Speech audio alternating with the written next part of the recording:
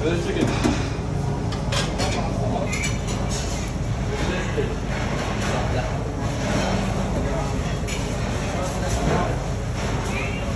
yummy.